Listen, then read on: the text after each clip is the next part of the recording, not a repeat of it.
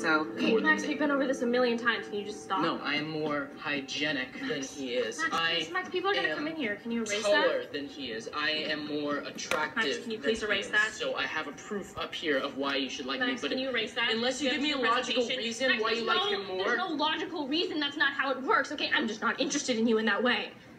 is it because I haven't demonstrated my physical affection, which means I am now in the friend zone?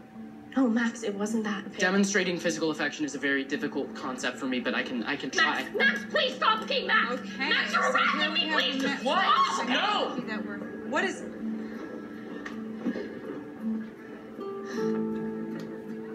See, this is.